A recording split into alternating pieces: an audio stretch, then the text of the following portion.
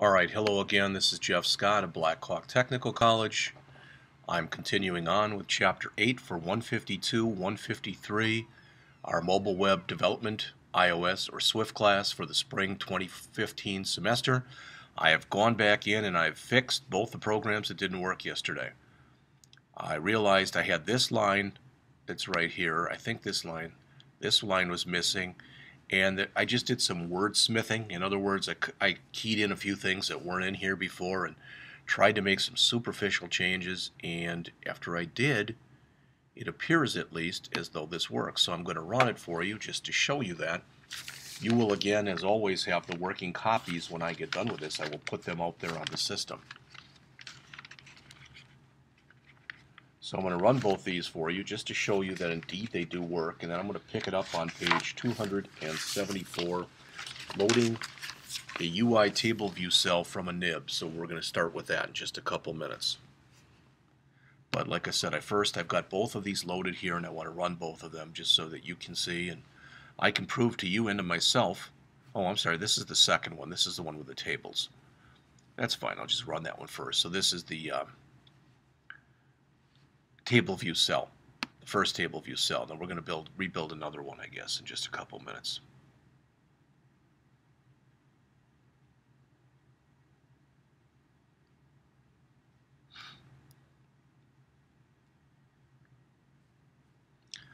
Again, this tends to take a little while. The first time in the morning I load it up, it's about 20 after 6, so it's going to be a, it's going to be a minute or two.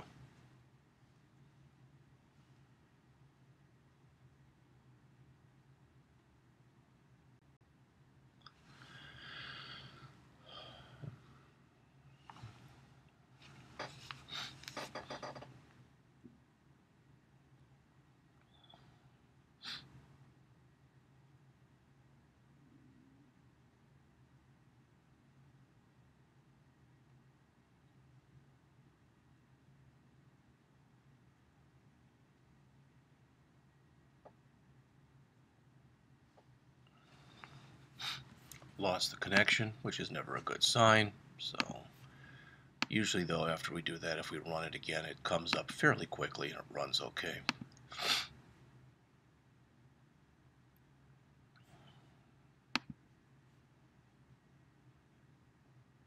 So this stuff should present and name MacBook Air should be on the first line, then color silver on the next line, etc through all the way as it iterates its way through this dictionary or this array, whatever you want to call it. It is a dictionary, though.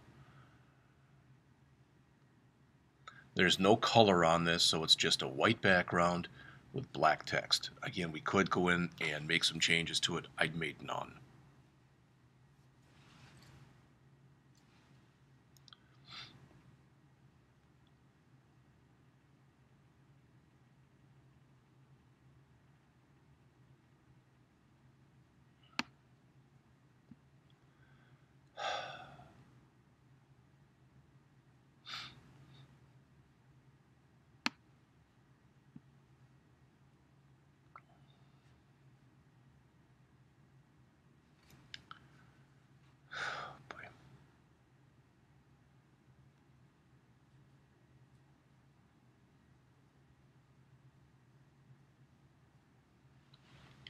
Now the next one that we're going to look at in just a couple minutes is loading a UI table view cell from a nib.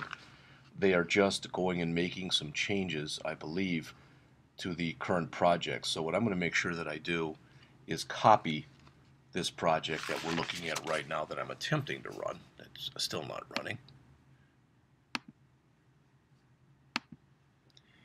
And work with the copy.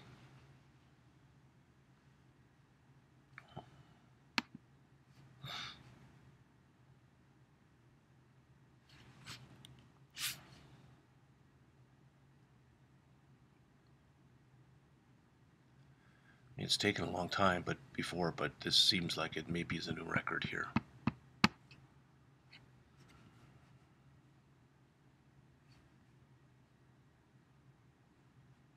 I do have a lot of stuff open, so it might it might have something to do with it. I don't really know.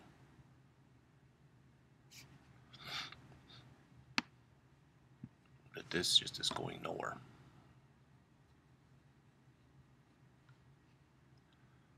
Give it one more try. Stop this one more time and try to run it one more time. I'll try to run it from here once. This was, I think, simple simple table, is it? No, it's table cells. See if we can run it that way.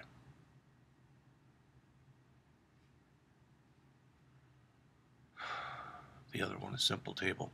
And again, with that one too, I managed to figure out the error that was in the book um, as time goes on and as things change. As you know, syntax sometimes changes. I went on to Stack Overflow and tried a few things, and most of the stuff that they suggested did not work. So I just kind of played with it myself until I eventually got it to work. So I'm not sure why this isn't coming up, but it's not. And rather than waste my time, again, you will have the final one of this, and it will be, you will have all of it on there. So I've got that one. This was the table cells.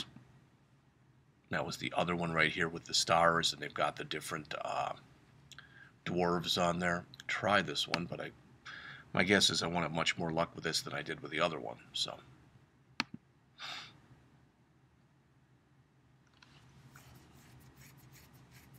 But again, you'll have to take my word for it now because of the problems that we're having getting these to run. But um, they both did run. So there's the first one. All right, there's your dwarves. And notice that the first one, and, and they all indent in a little bit for the first four, and then it starts again, and they indent for the first four. And you can see as we work our way through there, they're all in there.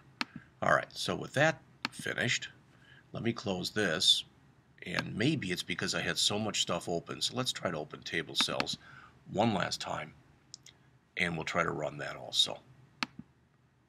Again, if it doesn't work, it doesn't work, but I like to prove to you visually as well as just saying it if something is going to work.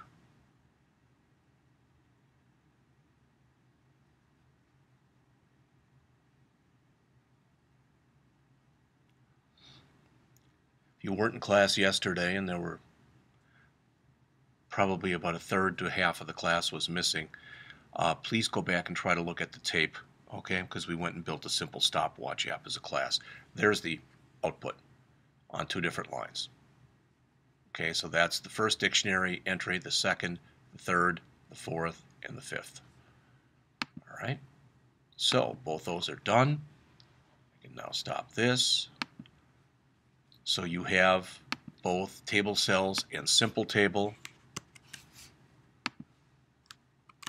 The simple table will now be a simple table 2. All right, so I guess I could open that one up.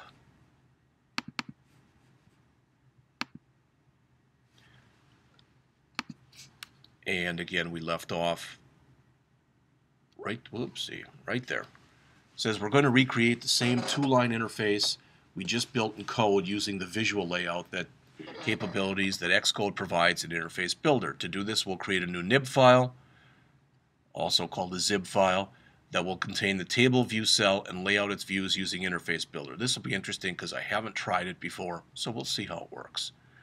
Then we, when we need a table view cell to represent a row, we'll just load it into the nib. Okay. In addition, it says we'll also simplify our code in a few other places. Before proceeding, you might want to make a copy, which you can make the changes that follow. Well, that's what I've done. Alternatively, you can find a copy in the table cells project with the current state that you can use. Well, I, would rather use my own. First, as it says here, and I'm on the bottom of page 274, we'll make a few changes. The first step is to mark up the name label and color label as outlets so we can use them in Interface Builder. So let's go back in. Let's minimize.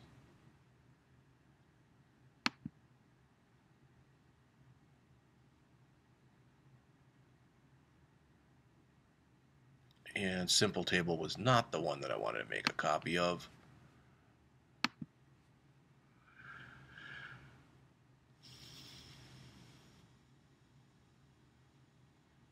It was table cells. That was the one. So this one I don't even need. So I'll come into table cells. There's my copy in table cells 2. All right, good. So Again, the first step the author says is we want to mark up the name label and the color label properties as outlets. So let's close a few things, give ourselves some more room here. Okay, there they are. So again, what the author wants us to do is right now we've got the table view, but we're going to need to add a couple more things in here.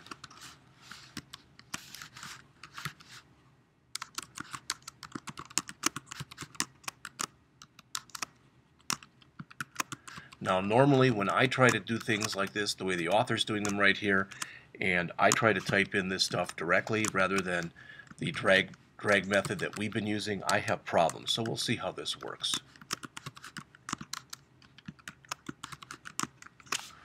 All right. Says, now remember that setup we did in it with style when we created this? All that can go. In fact, you should just delete the entire method since the setup will now be done in the interface builder.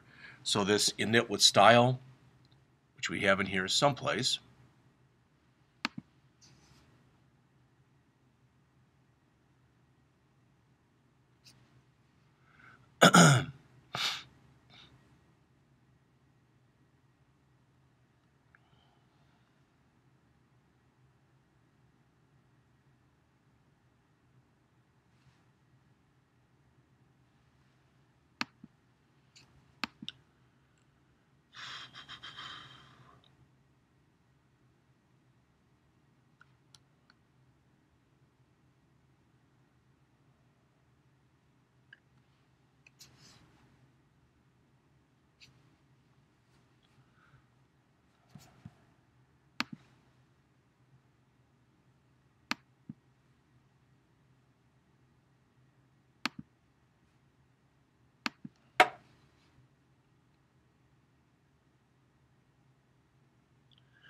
So I believe they're talking about this right here, this init. It Says, remember that we did init with style, reuse identifier.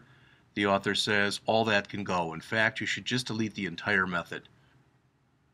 And since you're no longer overriding any of the base class initiators, you can delete the one below it too. So all this that you see right here, let's take some control here.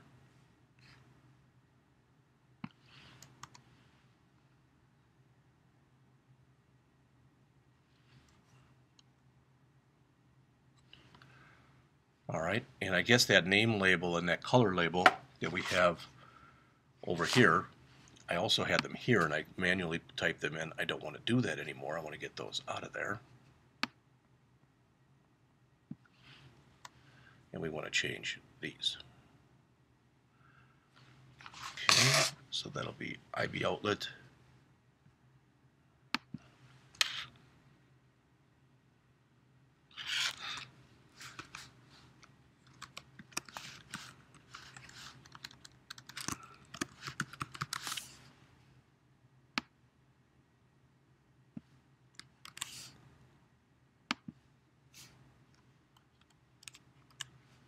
Okay.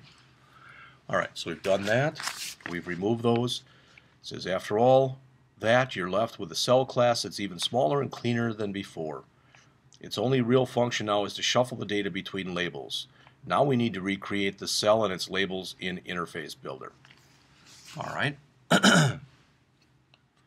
so it says here, right-click the table cells in Xcode and select New File from the contextual menu. Tells us to choose user interface right there. Make sure we pick it, we're picking it in the iOS section rather than the OS section. We are in there. From the upper right pane, select empty. Then click next. On the following screen, use the name name and color cell dot xib.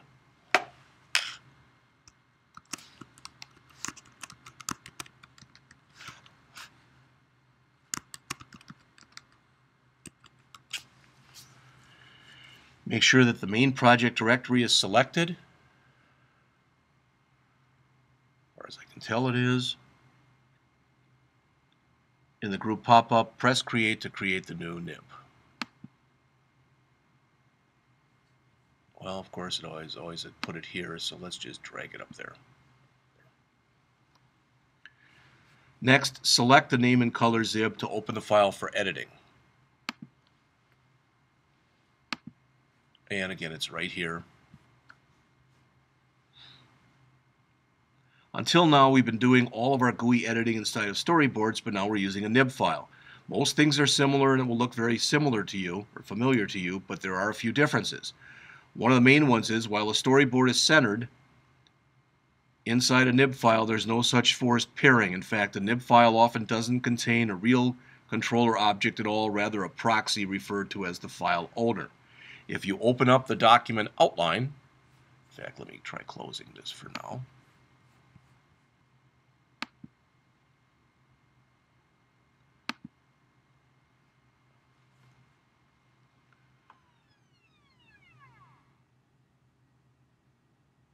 You see it right up above first responder, files owner. All right. Look in the library for a table view cell. So I don't need this anymore for right now at least. I can just, there I got my whole screen with this. So, so we want here a table view cell.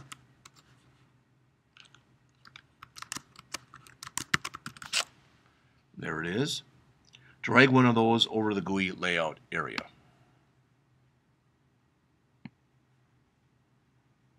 Okay. Looks a little more centered in the book, so looks about right. All right, turning up to page 276. Now I'll bring up the Attributes Inspector as shown in figure 819. Still after all this time, I forget which is which. One of the first fields you'll see there is Identifier, right there. That's the reuse identifier that we've been using in our code. All right, set it to cell table identifier.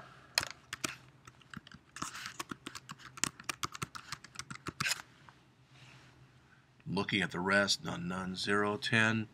Looks pretty much like the rest of it is set up the way that it is in figure 819. The idea here is when we retrieve a cell for reuse, perhaps because of scrolling a new cell into view, we want to make sure we get the correct cell type. This identifier field lets you tag cells appropriately. Our next step is to edit our table cells content view. First select the table cell in the editing area and drag down its lower edge to make it a little taller.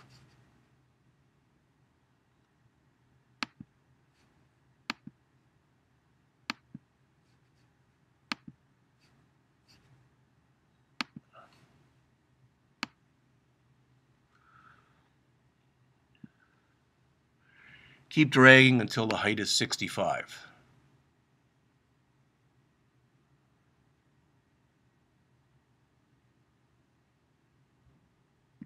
Okay. Go to the library and drag out four label controls and place them in the content view using figure 820 as a guide.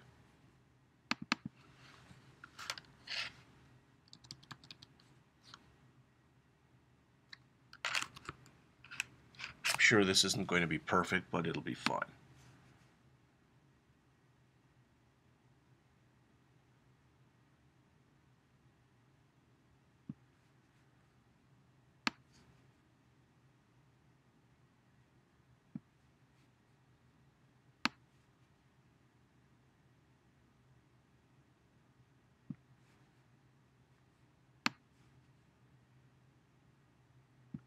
Okay.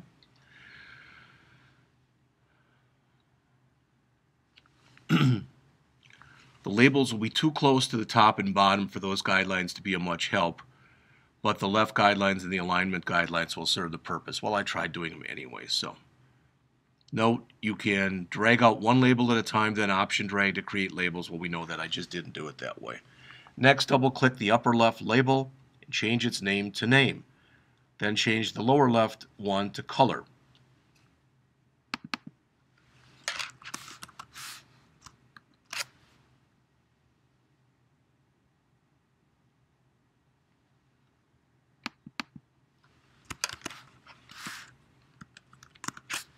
Okay. Then select both the name and the color labels that you've just created. Press the small T button on the Attribute Inspector's font field.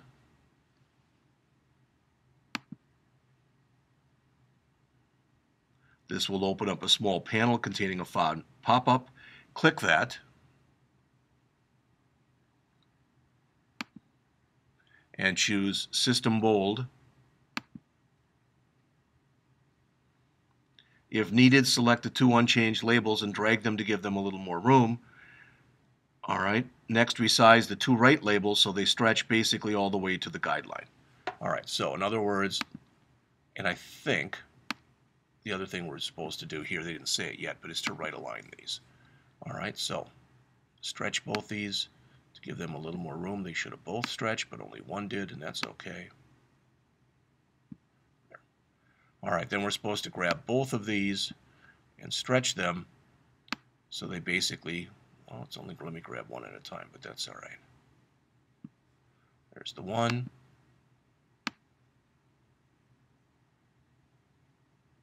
There's the other one. All right. So now it looks pretty much the same way it does in figure 8-21 on the bottom of page 277. As always, when we create a new vertical layout, we need to add auto layout constraints. The general idea is to pin the left side labels to the left side of the cell and the right side labels to the right. We'll also make sure that the vertical separation between the labels and the top and bottom of the cell between them are preserved. We'll link each left side label with the one on the right. So there's eight steps that make up all of page 278. First, click the name label. Hold down on shift and click the color label. Then choose Editor, Pin, Widths Equal.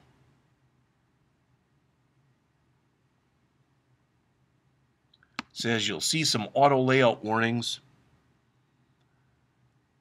When you do this, don't worry because we'll fix them as we add more constraints. With those two labels still selected, open the size inspector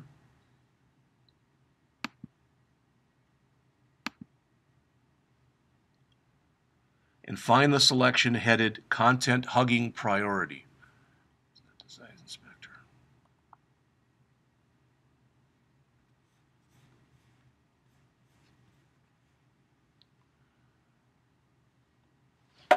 With the two labels still selected, open the size inspector and find the section headed Content Hugging Priority. If you don't see it, try deselecting and reselecting both labels. Okay.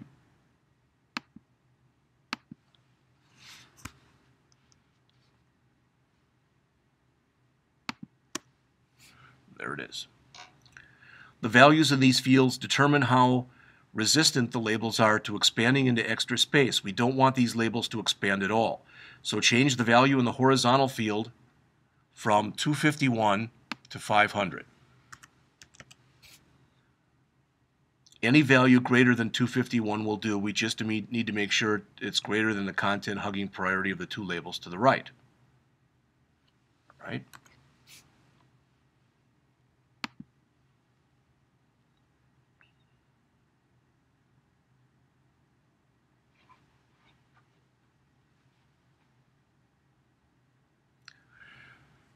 Okay, next, control drag diagonally and up from the name field towards the upper left corner of the table cell until the cell's background turns completely blue.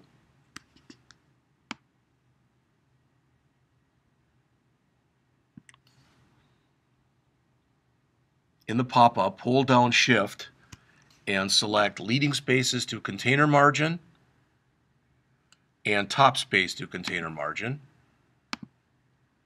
and press return.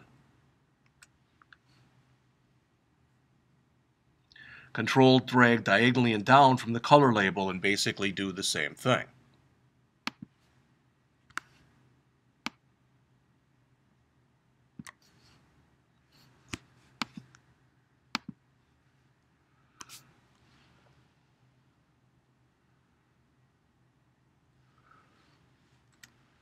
All right, so I've done steps one, two, 3, 4, and 5 out of 8. Step 6, control drag from the name label to its right.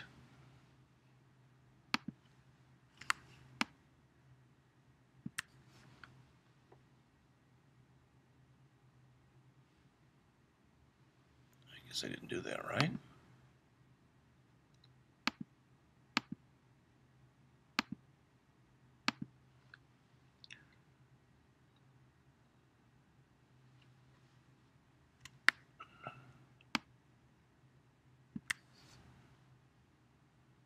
In the pop-up, hold down shift and select two that I don't have here. So, control drag from the name label to the label at its to its right. Okay, so I guess I maybe didn't drag it enough. Okay. In the pop-up, hold down on shift and choose horizontal spacing and baseline.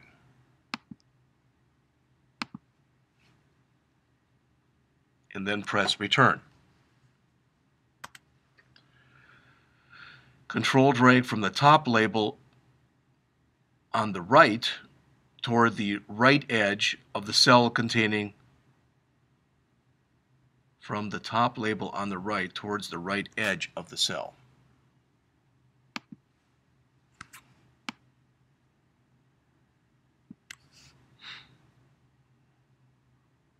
In the pop-up, select trailing space to container margin. All right, similarly, we're going to do the next thing here in step 7. So we're going to control drag from the color label to the label on its right.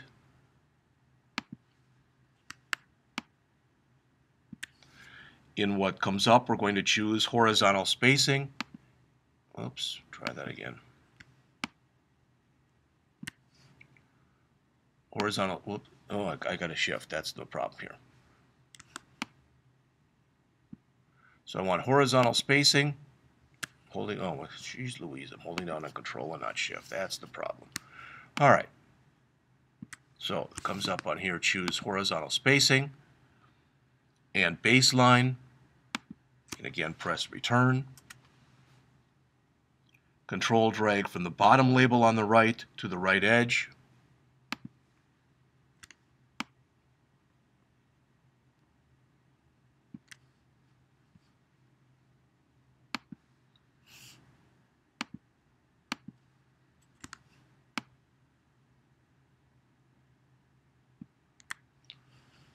Doesn't appear to be working.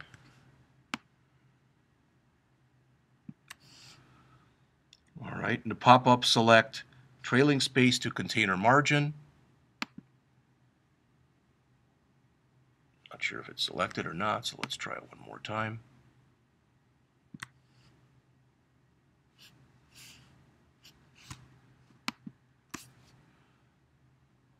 And press return.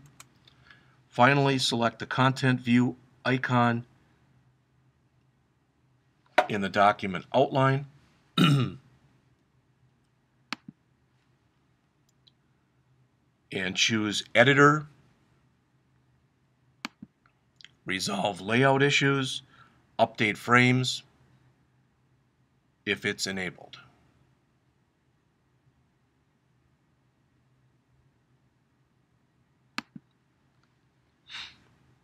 The four labels should move into their final locations as shown in figure 821, which was on the previous page.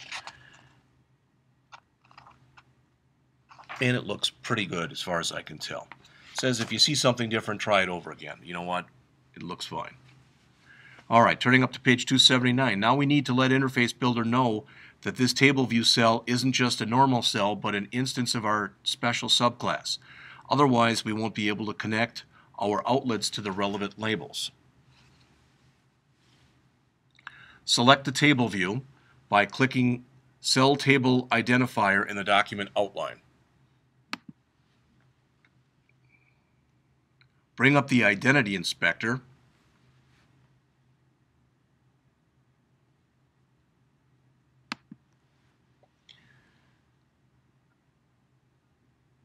and choose Name and Color Cell in the class control.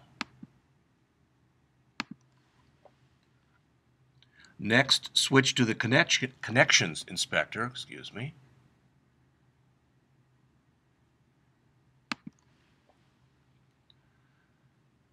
where you'll see the color label and name label outlets. Drag from the name label outlet to the top label on the right and this and from the color label. So in other words,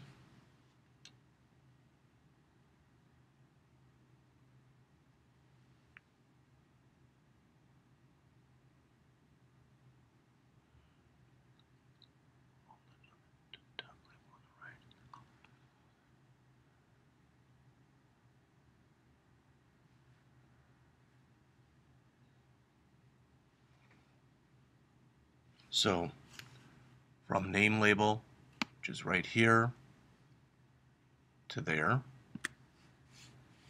and from color label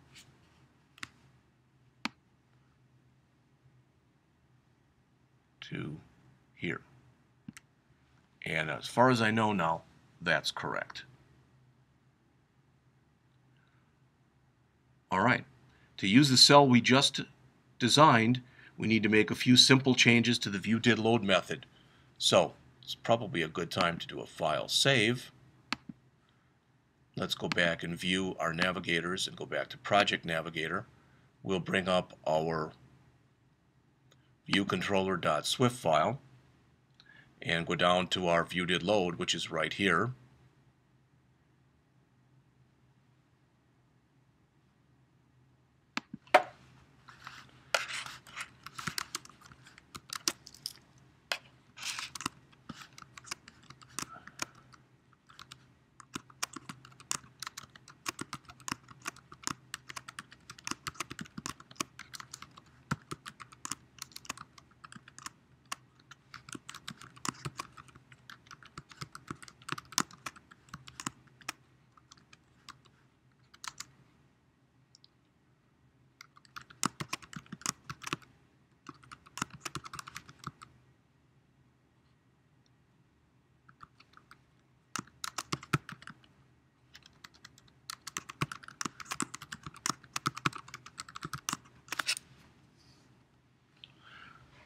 All right, so we added the stuff that you see here, kind of in blue. All right, try to move this up just a, just a tad here. There we go. Just as we can associate a class with a reuse identifier, a table can be used to keep track of which nib files are meant to be associated with particular reuse identifiers. You may have noticed we didn't explicitly set the table row's height or implement anything like height for row at index path. Despite that, the rows are now all of the correct height. And they explain on the bottom of page 279 that the way that the table figures figures out the height of a row is in the if the height for row at index path method is implemented, it gets that by calling it. If not, it uses its own row height property. All right. Turning up to page 380. So now we've seen a couple of approaches for building a custom cell. So the author says, what do you think? Well, what I think is, why don't we save this and run it and see if anything at all happens? The author, as far as I could tell, did not say to do that, so I'm going to try it right now. So I'm going to save, and I'm going to run. And if it fails, uh, I've followed all of the all of the author's steps, so we'll see what happens. Ideally, this will look exactly the same as the previous one that I showed you. Okay, the build succeeded, which is always a good first step. Then we're going to build another project to explore another aspect of tables. We're going to use a single table view, but divide it into sections. So we'll start on that in just a minute. That's going to have a list of names, and we'll do some monkeying around with that, monkeying being a relative term here. And as far as I can tell, that'll be the last one that's in the chapter. And I won't probably be able to finish that today, but I will get at least a start on it and then hopefully work on it tomorrow. finish that up. Sorry I'm falling a little bit behind in these lectures. No excuses. I'm just sorry I'm falling a little bit behind.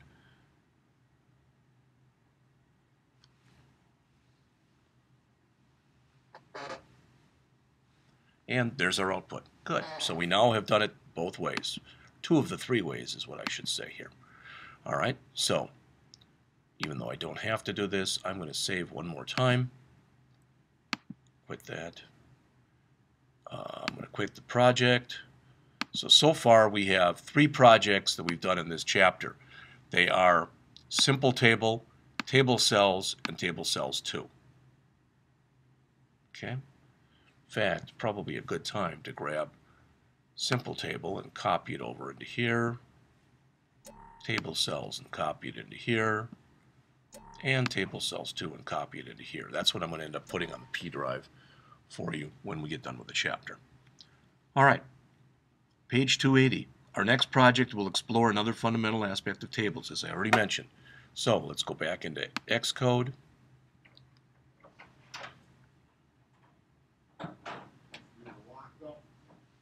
Right, thanks. And we're going to create a new project.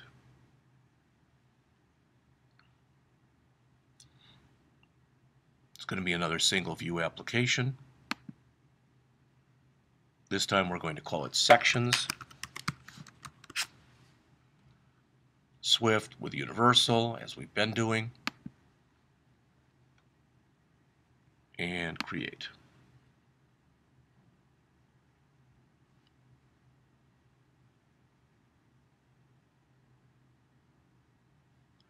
All right, so we're supposed to go into the storyboard right away.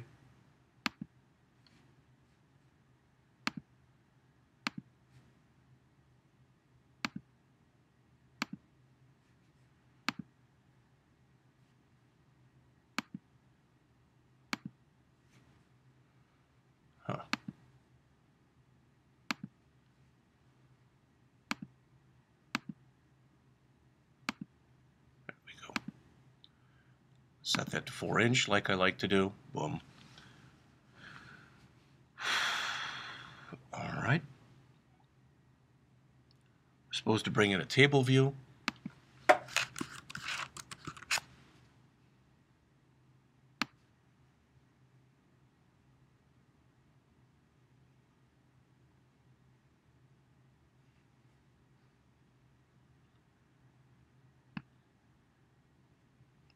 and I put it in so it's underneath as we looked at before.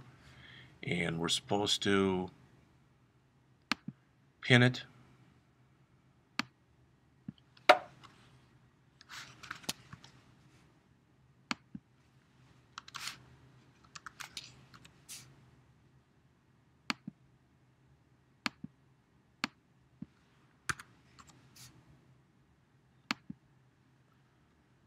pretty good as far as I can tell. We're going to add our constraints. Boom, that's done. Again, it's not perfect, but looks like it'll be all right at least. Why that's set up like that, but yeah, some reason it reset these. I don't know why. 16. Minus 16.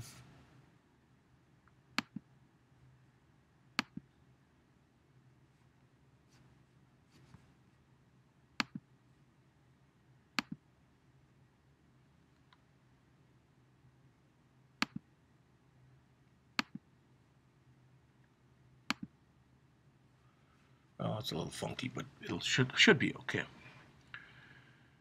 All right. We want to connect the data source connection to the view controller icon.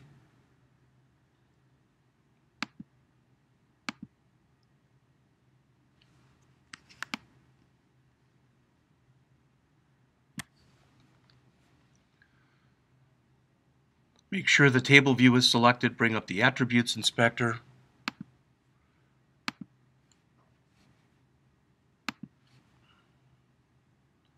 Change the table view style from plain to grouped. Save the storyboard and move along. I like that.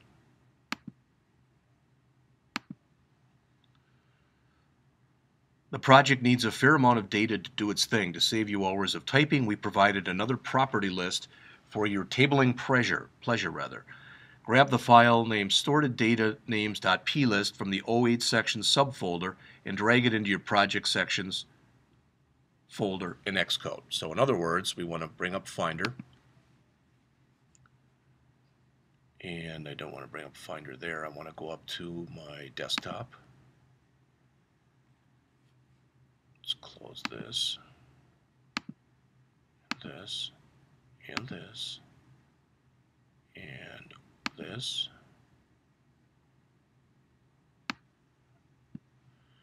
And this.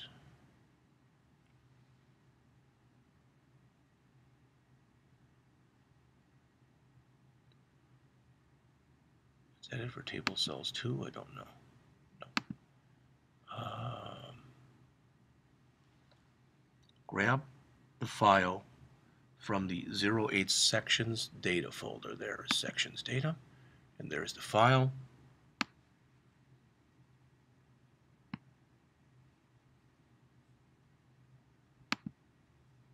Want to copy, finish. All right, and there that brought that in. You can see the stuff that's in there. Good. All right, so that's been done. We're on up to page 281. Once it's been added, single click it to get a sense of what it does. So what you see here is virtually what you see in the book on figure 823, which takes up most of page 281. All right, so we're supposed to single click viewcontroller.swift, make the class conform to the UI table view data source protocol, and add a table cell identifier and create a couple of properties by putting in the code that's shown on the very bottom of page 281.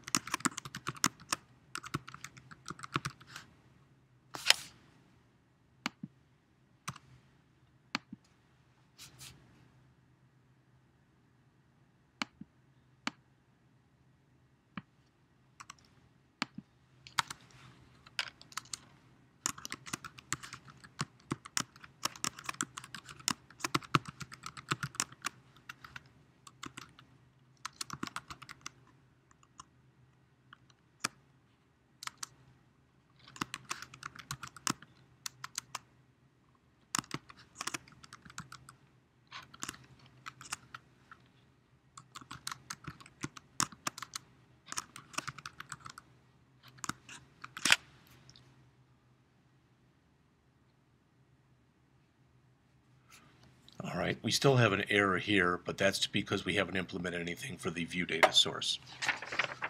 Okay. And it is 7 o'clock. I'm going to go a little bit longer, but what you see on 282, 283 is they have you do a lot of typing. And then they tell you to run it on page 284. So I'm going to see if I can get that far before the end of the period today. But then I'll pick it up on 284. If I have time, I'd like to do this at home this afternoon.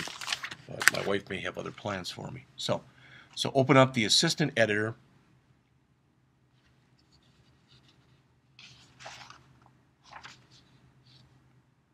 And use the jump bar. Okay, so we want what we want to do here is I'm going to bring up the storyboard.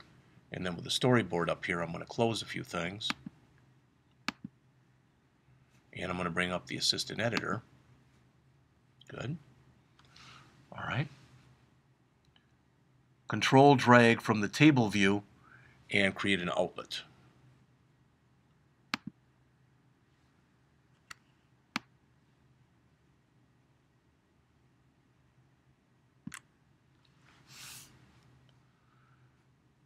All right, we want to just call this, it looks like table view.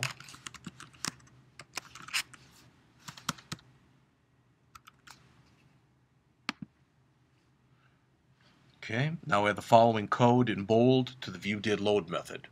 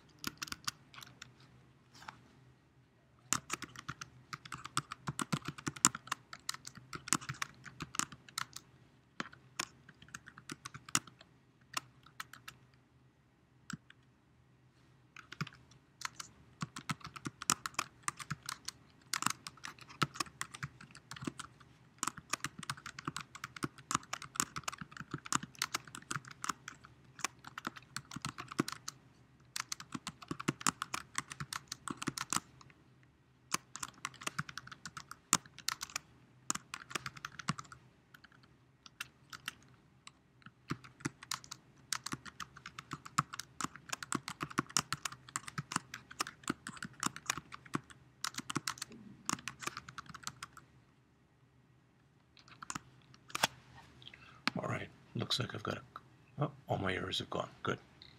Says most of this isn't too different from what we've done before. Earlier we added property declarations for both a dictionary and an array.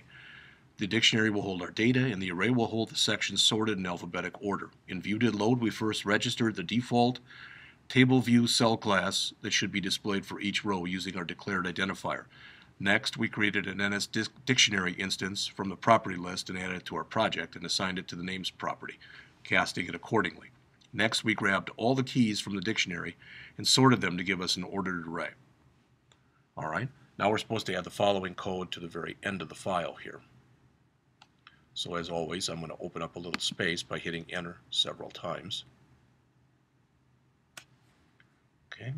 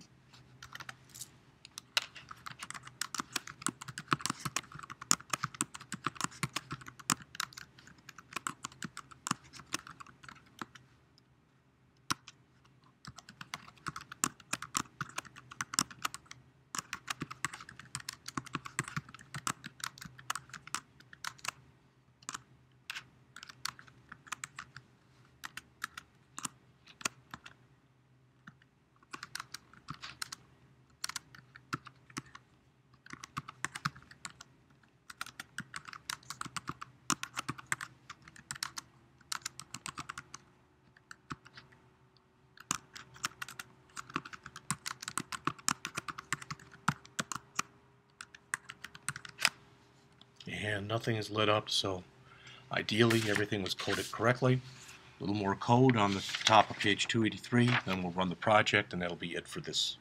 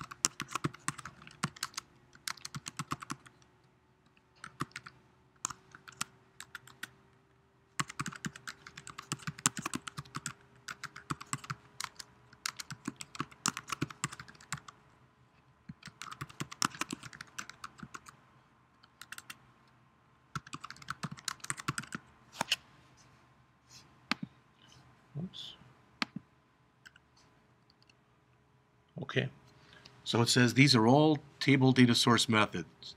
The first one we added specifies the number of sections. We didn't implement this, so we we just we're happy with the default setting of one. This time we're telling the table view to have one section for each key in our dictionary. So that's the one that's up here. It says return keys.count. The next method that's here calculates the number of rows in a specific section. In the previous example, we had only one section. This time we need to break it down by section. We do this by retrieving the array that corresponds to the section returning a count from it. Right there. The next method that you see in there allows you to specify an optional header, and we simply return the letter for this group, which is the group's key. And in the next one here, we need to extract both the section key and the names array using the section row properties from the index path and then use those to determine which value to use. Now, according to this, we're done, but I still probably have a lot of blank space in here, so I want to remove some of it. And you can see that here.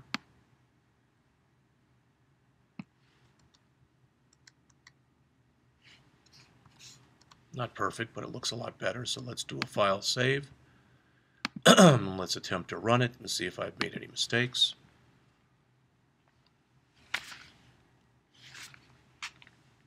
Good sign, it succeeded. Next they say as a contrast, let's change our table view back to the plain style and see what a plain table with multiple sections looks like. Select the storyboard Select the table view and use the attributes inspector to change it back to plain, save the project, and run it again. So the way it looks now, it should look very similar to what you see in figure 824 on page 285. Hopefully that's about to come up here. I'll go back and make the change, and then we'll pick it up next time on page 285. Looks like there's not a whole heck of a lot of code to do, but hopefully I can do that one more time.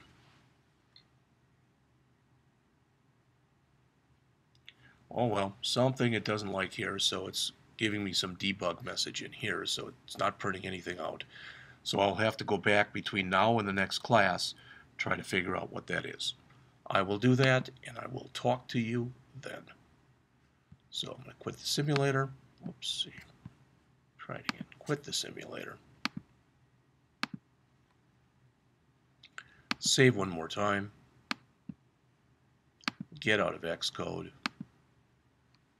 So again, this sections will be done for the next class. I might have, if I have time, I'm either going to tape and or I'm going to also put all the code in. So I might just put the code in if I only just have time to do that.